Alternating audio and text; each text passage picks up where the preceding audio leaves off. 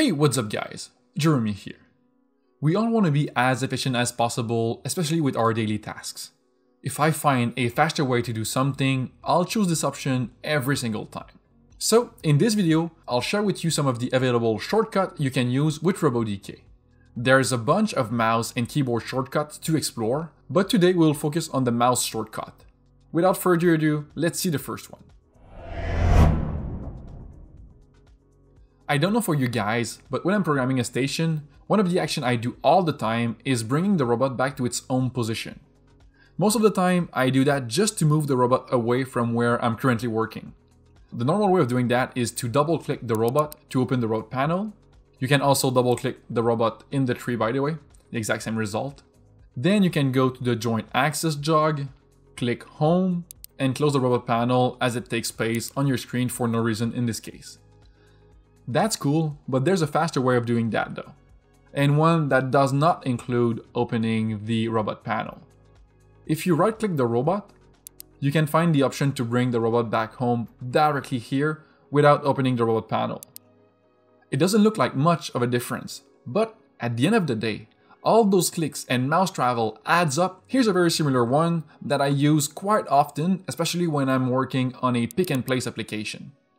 Most of the time, when you want to pick an object, you want to be aligned with the reference frame. What I mean by that is having your tool z-axis aligned with one of the frame axes. In this case, I want the z-axis to be aligned with the negative z-axis of my frame. One of the things I can do is press Alt and align the axis the best I can. Then double click the robot to bring the robot panel and adjust the orientation values one by one. That takes time and I don't really like it. So if you look here next to the home button, you have the align button that will adjust the orientation values for you. That's already good, it saves a bit of time, but there's better than that. You can access the same option by right-clicking the robot and align tool orientation. Again, no need to open the robot panel, that saves time and screen space. One thing we need to be aware though is that RoboDK will align with the closest axis of the frame. So if you are like this before using the align feature, the tool won't be aligned with the negative Z, but with this axis instead. Before we continue, if you have any technical questions regarding RoboDK, please visit our online forum. It will be a pleasure to answer you. Link in the description below. Okay, next trick. If you ever worked with a huge RoboDK station, you will know the pain. You have a lot of stuff in your station, but you would like to know where one object is in your station tree. If you see the object on screen, instead of looking around in your tree, opening every collapsed reference frame or folder, you can simply right-click the object in the 3D environment and select Reveal in Tree. This will automatically bring you to the right section in your tree, even if this section was collapsed. The other way around is also possible. If you have an object in your tree that you would like to focus on, right click on it and frame on. That will change your 3D view so this object is now on screen. I honestly use those all the time with bigger station. That's a big time saver. Okay, I got two things left for you. First one, quite simple, and many of you might already have found this one by yourself.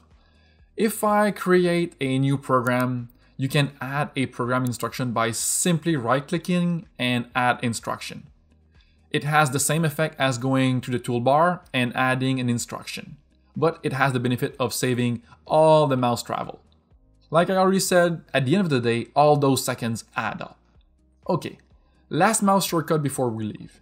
If you want to select any object in your station, you can click them one by one by holding Ctrl. But did you know that you can also click and drag your mouse to create a selection box? If you click and drag towards the right, it will create a blue box. And towards the left, a red box. The blue box will select all objects, frame, targets completely included in the box. And the red one will select all objects, frame, and targets touching the box. We can quickly see the difference here.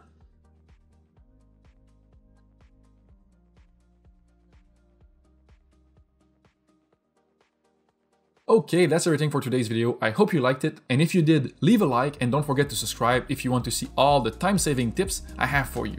In any case, have a great day guys.